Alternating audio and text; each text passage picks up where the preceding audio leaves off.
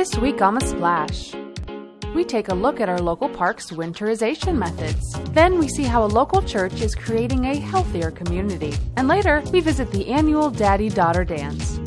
The Splash is a production of Civic Center TV. We're a news magazine that covers everything from local news to feature stories, all so that we can bring you the latest from the greater West Bloomfield area. And now, let's dive into The Splash. Welcome to The Splash. I'm your host, Sheena Monnin, and as always, thank you for joining us. West Bloomfield Parks works hard to keep our local parks looking clean and pristine, even in the wintertime. So much so that they recently won an award for it. Reporter Jason Polly has the story. West Bloomfield Parks continues their pursuit to find innovative ways to improve our local parks, even winning a couple of awards along the way. Our staff is very unique in that they're always looking for opportunities to make the parks better. They're always looking for innovative ideas, always new and fresher ideas that hopefully we can then implement to make the park system much better. The Parks Department is constantly coming up with new ideas, looking for new time and money saving techniques. Uh, you know, we're trying to do, we do all this stuff in house with our own staff. They come up with the ideas. We try to do as much fabricating of this equipment in house to save the taxpayers money.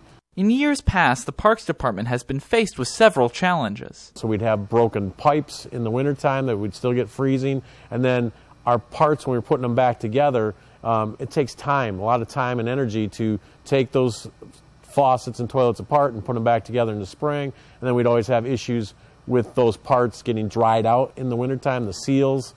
But the team was up to the task. Recently, the Parks Department received an award from MParks, Michigan's Recreation and Parks Association, for their innovative solutions to winterizing water pumps. Since we've gone to the system, we've had absolutely no broken pipes, and we also have reduced the amount of uh, gaskets that we have to replace in our toilets and our sinks. But winterizing the pipes isn't the only innovation the parks have been celebrated for. We, we actually take rock salt and turn it into brine. So we're lo- using less rock salt, which is helping save the environment. We're also mixing in beet juice, which is obviously not salt, which is also better for the environment. And between the two systems, between the brine and the beet juice, we're reducing the amount of salt in that whole process. If we can create some environmental advantages where we're not affecting our environment, after all, we are parks, we should be the green leaders. The main goal is to come up with better ways to do our jobs, do them smarter, and have an environmental impact that is positive to the community.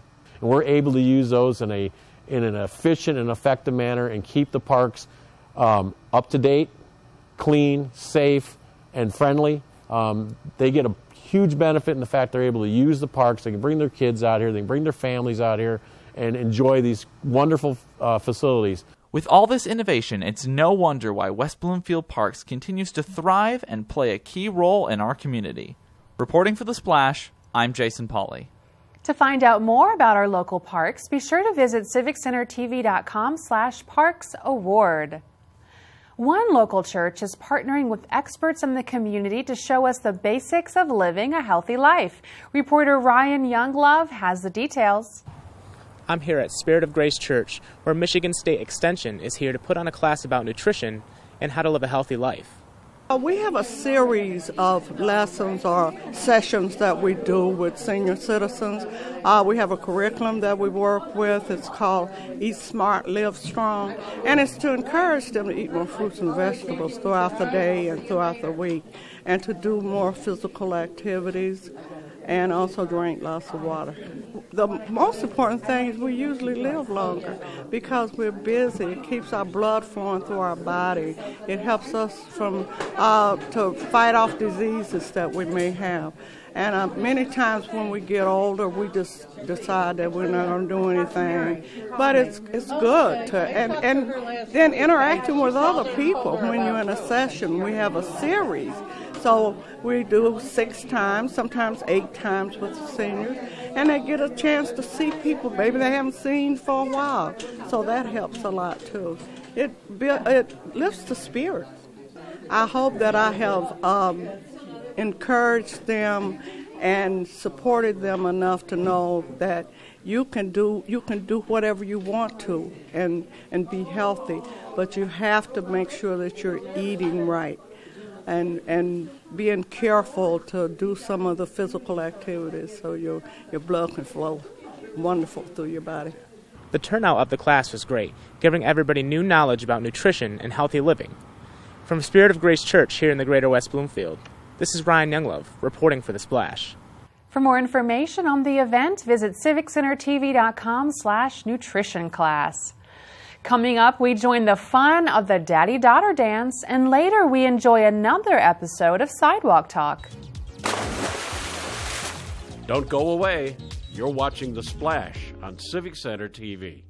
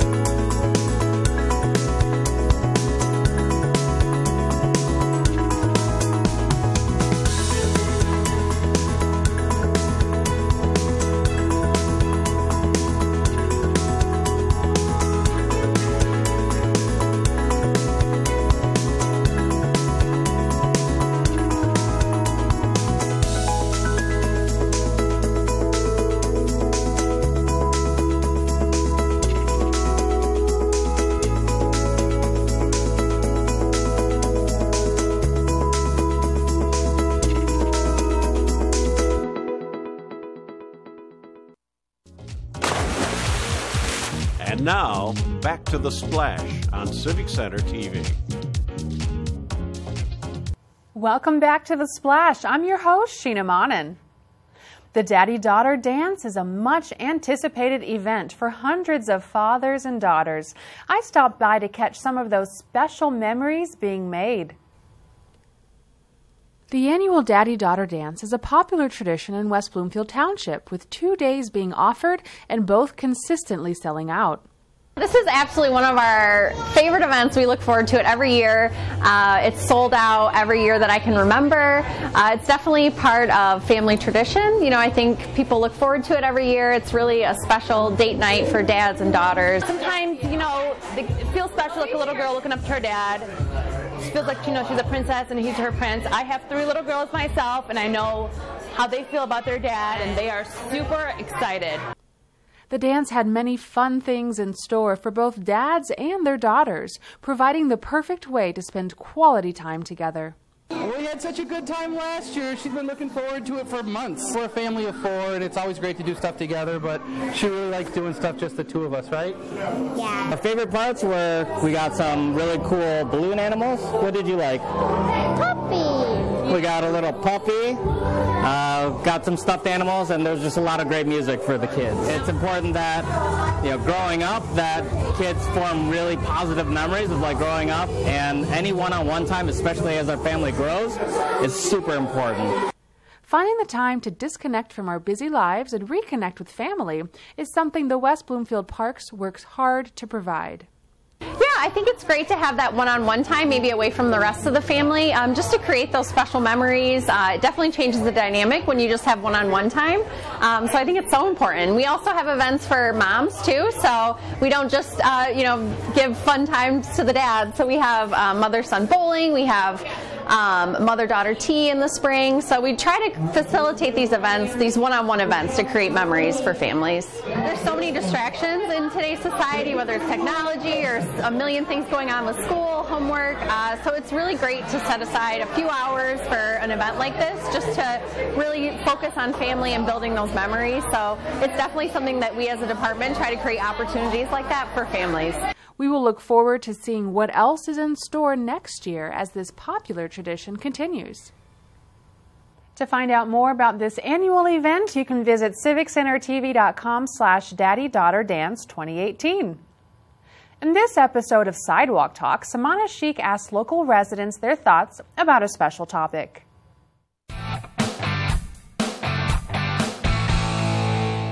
Being stuck in an elevator is bad enough, but it could be worse. Would you rather be stuck in an elevator with an ex you had a bad breakup with, or a boss that fired you? A boss that fired me. That would be fun. we can have a great conversation. Many people are like, well, lash it out in the elevator. That's right. That's right. It would be an interesting time.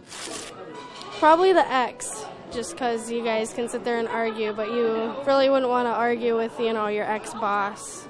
You know what I'm saying? So yeah, probably with the boss because I think if I was fired, I'd like to know why. Uh, ex I broke up with. Com- not a boss because, ooh, I wouldn't like that. The old boss. Yeah, because I only had one job besides this, and I was like close with that one, and I wouldn't want to be in the elevator with my ex. I mean, an ex girlfriend and an ex boss, two different things. I don't have to talk to the ex boss. I feel like the ex girlfriend would want to start talking and make it even more uncomfortable, so I'll go with the ex boss. Probably an ex. I've never had bad terms with an ex, so it'd just be good to catch up, see how they're doing. I just care about them, so. That's very sweet. Yep. Suppose you were stuck in an elevator. Would you rather be stuck with an ex that you had a bad breakup with or a former boss who had fired you? Former boss, because I might kill my ex. So, former boss. Safer bet. I can avoid talking to him and we can work things out. But I, I can't be in an elevator with an ex. That probably wouldn't be good. Probably a boss that fired me because I wouldn't really care what I said to him. Yeah, that's uh, doesn't matter anymore. Uh, ex. Why is that? I feel like it was probably more good times than bad times. Can I not be in an elevator? Elevators are scary. Um, no, definitely the boss, a boss, because I can talk to them and explain to them our situation. With an ex, I'd probably punch them. Probably a boss who fired me. I'm not sure if I could be with any of my exes in an elevator. It's a, it's a very small area, and there's not enough area to run. Thank you for your input, West Bloomfield. Join us again next week for another episode of Sidewalk Talk. If you'd like to see some of our other fun and interesting questions on the show, you can do so anytime and anywhere by visiting our website at civiccentertv.com slash sidewalk talk. And now it's time for our Civic Center event update, where we provide you with all the latest that's happening around Greater West Bloomfield. And if you'd like to stay up to date on all of the following current events yourself, you can visit civiccentertv.com slash events. Let's get started.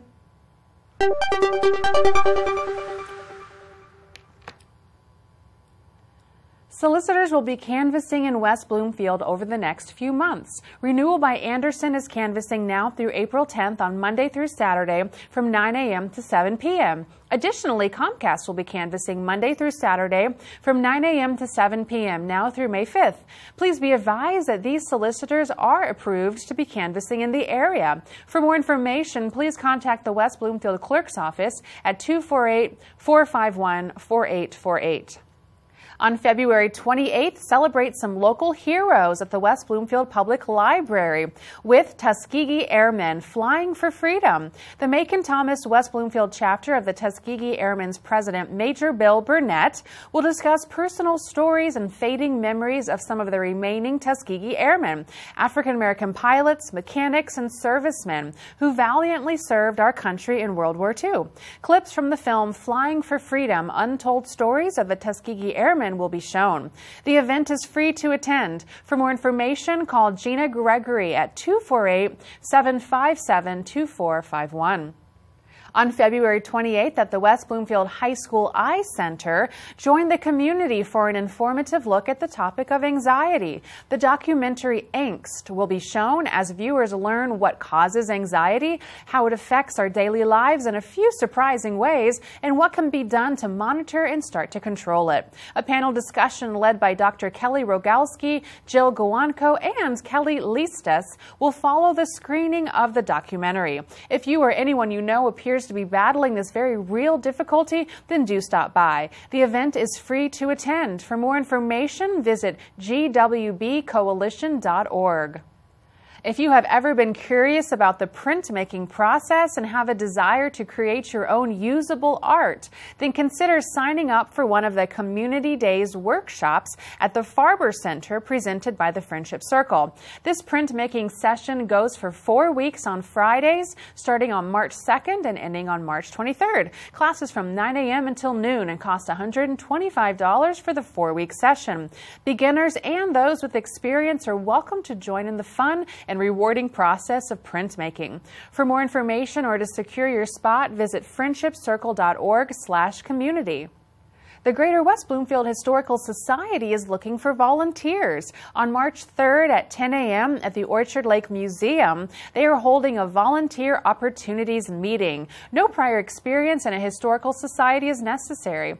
Also, both short and long-term opportunities to volunteer are available. Hours are flexible and responsibilities range from simple to complex, depending on your schedule and your desire. To find out more, visit gwbhs.org slash events. Henry Ford Maple Grove Center is offering a series called Are You Concerned About Another's Drug Use? This workshop is held monthly on Saturdays from 10 a.m. until 1 p.m. and focuses on intervention, resources, impact on both family and friends, as well as what addiction actually is, as well as a myriad of treatment options and plans to help those who need assistance. These sessions are specifically designed for adults only, and registration is needed to attend. You can register by calling Lisa Kaplan at 248 788 3005. If you would like to meet a New York Times best-selling author, you just may be able to do so at the West Bloomfield Public Library on March 6th from 2 p.m. until 3 p.m. Best-selling author Paula McLain is coming to the library to discuss her latest book, The Paris Wife, a story of the first of Ernest Hemingway's wives. This event is expected to fill quickly. For library card holders to enter the drawing for tickets to the event, call the Adult Information Desk at 248 232 2290 to put your name on the list for two free tickets. A book signing will take place after the book discussion with the author. On March 7th at 7:30 p.m. at Holy Spirit Lutheran Church off of Orchard Lake Road, a special memorial concert is taking place to honor Mary Freed. The Rondo String Quartet is performing at this event and music will be selected based on some of Mary Freed's favorites, culminating in her own violin being used in some of the songs. This special event is free to attend and future concerts are planned to keep her memory alive. A reception will follow the concert. For more information, visit spiritdrivenchurch.com. That concludes this week's events. However, if you're looking to find even more events going on in your neighborhood, then be sure to follow us at civiccentertv.com slash events and look up our events calendar. Or watch us here for more information on everything going on in the greater West Bloomfield area. As we head into the break, stay tuned because afterwards I'll be talking with Dennis Kearns of the Jacket Club of Keego Harbor. Don't go away. You're watching The Splash on Civic Center TV. Civic Center TV is your home for everything Greater West Bloomfield. Here you can tune into community programming such as our weekly news magazine show, The Splash, as well as coverage of local events and meetings in Keego Harbor, Sylvan Lake, Orchard Lake, and West Bloomfield. You can also watch all of your local programming online anytime at civiccentertv.com. Civic Center TV, television that's close to home. Civic Center TV has gone social. Now it's easier than ever to watch, save, like, and share our videos online. See what's happening in your neighborhood, on the streets, and on the web at civiccentertv.com. Be a part of the conversation and get involved. We would love to hear from you. For links to our social media pages, visit us at our website or find us on Facebook, Twitter, and YouTube. Civic Center TV, television that's close to home.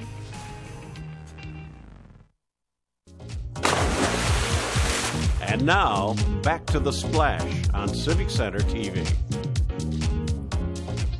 Welcome back to The Splash. I'm Sheena Monnin. In the studio with me this week is Dennis Kearns of the Jacket Club of Keego Harbor. Dennis, thank you for coming by the studio today to tell us about this amazing organization. And uh, before we go ahead and jump right into what it's doing now, can you tell me a little bit about what it is and how it got started? Sure. Actually, the Jacket Club started back in 1966, I think was the year. And uh, the, a lot of people were inside a restaurant having dinner. And uh, they heard the screech of brakes and a crash outside. Came outside and found a a car had hit a, a young boy and uh, hurt him pretty bad. And uh, they came out to help. The mom showed up with a couple of kids in tow, and uh, they recognized that the mom and the, the kids didn't really have appropriate clothing, Mm. and uh, at that point they they thought about you know the situation, how the kids uh, needed help, and they started a fundraiser right there to uh, to help that family. And uh, later on that year, actually gave that family a nice Christmas as well after they got them the, the immediate need taken care of. Wow, that's fantastic. And from what I understand, you do a combination of both currently. You help out families for Christmas, and you also make sure, even throughout the year, that there is appropriate clothing for the weather available. Tell me a little bit about how that initial experience has morphed into something so much bigger. Sure. Actually, now we have at uh, Roosevelt Elementary, uh, we have clothing available jackets, boots, uh, gloves, hats that uh, sometimes are. You know, people have, have needs for, and uh, the school system handles the distribution. They, they understand who the, the people are that uh, have the needs, and uh, we work very closely with the schools on that. Wow, that's really exciting. And then when Christmas rolls around, I think you've expanded into providing even food for individuals. In, at Christmas, yes. Last year, I think we provided uh, both Christmas gifts and a, a large food basket uh, for 22 families, and I believe it was 50 children. So Wow. we spend about $4,000 a year on that. Yeah, absolutely. And so to help raise the money needed to provide these new items for people, tell me a little bit about how that goes about. Well, we have our, uh, our main fundraiser every March, usually the second Tuesday of every March, and it's called the Wild Game Dinner. Okay. Um, Gino Santia at uh, Santia Hall um, assembles a, a great group of uh, uh, wild game. We have elk stew, uh, rabbit, uh, sometimes boar, bison, uh, maybe quail, uh, Okay. different things every year. And uh, we have a, just a great time to get together, uh, do some raffles, uh, have some fun. The Mhm. community gets together, sits down, has a meal, and raises enough money to uh, to support our cause. Wonderful. Now, do you accept donations in addition to financial donations of the actual items themselves, or is that something you prefer, Well, the organization prefers to handle? What we do is we do have a, uh, a, uh glove and hat drive usually okay. every uh, about Thanksgiving every year, and that's handled over at uh, Gino's restaurant. And uh, we have a lot of people that donate a lot of jackets, hats, gloves, things like that for us at that time. We always want new items rather than used. Right, yeah, And uh, but but primarily we go out and buy what what's needed otherwise. Okay, great. And have you seen a need for this grow or, or become more and more aware? How, how do the numbers look? I think our our uh, we've gotten better at finding people, so I think that's great. that's made Yeah. Mm-hmm. our numbers grow a little bit more, and uh, the need maybe has gone up a little bit. So we're always trying to uh, improve what we can do and improve our improve our goals and improve our fundraising ra- uh, raising capabilities. Wonderful. So, if people are watching and they're like, oh, I either maybe want to consider joining the Jacket Club, I don't know how that could happen, like you could tell us about that, or I want to contribute, where can they find out more information? You can find out most information about the Jacket Club on our Facebook page. It's the Jacket Club of Keego Harbor. And then uh, normally Gino's as well has tickets available and things like that. And we have our Okay. meetings there uh, on a regular basis. So if you check out that Facebook page, it'll give us the mo- give the most information about who we are and how to get involved. And we're always happy to have more members. Wonderful. I love to see the historical aspect of this group and how it's grown and evolved over the decades. It's really exciting. Thank you so much for helping out our community and especially the little ones in our community. Well, we're happy to do that. It's uh, it feels good when we when we do it. Yeah, absolutely. Thanks so much. Once again, we've been talking with Dennis Kearns of the Jacket Club of Keego Harbor. Now it's time for one of our favorite episodes of Minute with Nature, where we learn new and interesting tidbits from park naturalist Lauren Azuri. Hello and welcome to Minute with Nature. I'm your host, Lauren Azuri, the park naturalist for West Bloomfield Parks. And we're inside our nature room today talking about albino animals. Something kind of rare, but exciting nonetheless. Albinoism is the absence of pigment, the melanin pigment, in our skin, our hair, and our eyes. And it's controlled by genes, usually a recessive gene. And It's not just their skin tone that you're looking for to identify an albino. It would be their eyes as well. Because there are lots of other animals that have white fur to survive in the Arctic, like polar bears and Arctic fox. But they have color in their eyes. If you have a red or pink eyed animal, sometimes even a light blue, that means that they're an albino and they lack that pigment in their eyes as well. Albino animals are at a disadvantage. They do have lower survival in the wild. They don't have as much protection from the sun. They have impaired vision, so if they're hunters, generally it might be harder for them to find food. They are not as good at camouflaging anymore because they do stick out in their natural environment, and they're not as easy to find mates for them. So it is harder to survive as a, uh, an albino in the wild. We actually have an albino animal ambassador here, our garter snake. And a garter snake is generally um, black with a yellow line through it and is meant to camouflage in the tall grasses that it lives in. That's why we have our albino garter snake here in our nature room. It acts as an animal ambassador. Um, we brought it inside as a captive animal because it wouldn't have a very high survival rate out in the wild.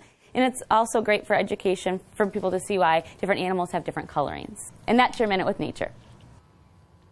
You can watch other episodes of Minute with Nature anytime at civiccentertv.com slash MWN.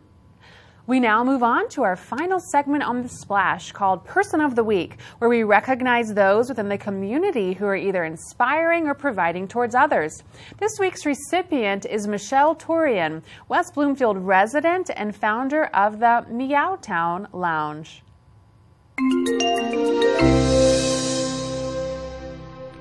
Michelle Tooroian highly values the virtues of care and compassion. In fact, she has dedicated a significant portion of her life to providing that to local animals. As the president of Pet Adoption Alternative of Warren, Michelle spends her days working tirelessly to find strong, caring homes for our furry friends, ensuring that the love they give to us is given right back to them.